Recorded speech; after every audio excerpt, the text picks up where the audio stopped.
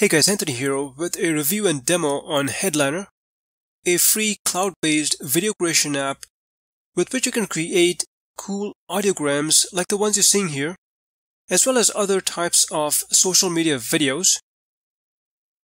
You will need to sign up for a free Headliner account and you can check the link in the description section.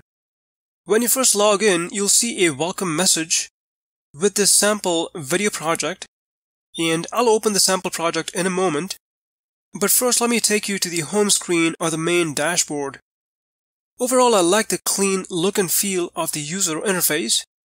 To create videos in Headliner, you can use the built-in video creation wizards or create videos from scratch using the blank project. In this section down below, you will see all your saved projects. Initially, you'll only see this example project, and you can click on it to open the project. So here we are in the Headliner video editor with the example project open. This is the preview section where you can preview your video project. And in this left side panel, there are two tabs. The transcript tab, which displays the captions for each scene. If you click the style button, you can edit the text styles, change the caption font, color, size, etc., as well as apply the karaoke style text animations in the Animations tab. In the Media tab, you will find all the images for each of the scenes which can be edited, and down below is the timeline where you can add text and media like images, video clips, and audio. You can export the video project as an MP4 in Full HD, as well as add an intro and outro if you wish. In this review video, I'm not going to get into the details of creating a video project, but I've created an in-depth demo and walkthrough video so you can check it out. With Headliner, you can create landscape as well as square and vertical videos. Overall, it's a great video creator to have in your video creation toolbox and it's free to use. I mostly use the audiogram wizard and the blank project to create videos in Headliner. Based on my experience using it so far, the rendering speed has been pretty fast most of my video projects rendered in less than 2 minutes for a 30 second video.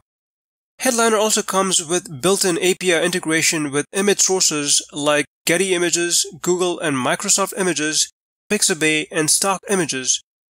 Make sure to read the terms, especially for Getty Images, which have usage restrictions for commercial purposes. The music from the Headliner audio library is free to use even for commercial purposes. In terms of compatible internet browsers, Headliner works best with Google Chrome version 63 and above, Firefox 55 and above, and Safari 11 and above. In terms of improvements, editing text can be a little frustrating when using the text tools until you get familiar with it. The text transitions are a little bit too fast and there is currently no way of controlling the speed of the animations. I would love to see this option. Also, if you want to replace an image in the timeline, you have to delete it and add a new image, which means that you need to set the duration, timing, and animations again. It would be nice to be able to just replace the image and maintain the settings. I've reported these suggestions to the Headliner team and hopefully they'll consider them for future updates. Well, hope you found this review helpful. Look for my Headliner tutorials on my YouTube channel, and thanks for watching.